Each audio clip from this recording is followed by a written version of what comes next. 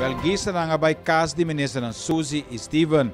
Isa aqui toma lugar depois que o sindicato ng PUFC e também APRI a participar na membro ng kunang a receber um carta cerca para o primeiro-ministro que contestar com não tá saca senhor Cliff Christian Ford de time de negociador.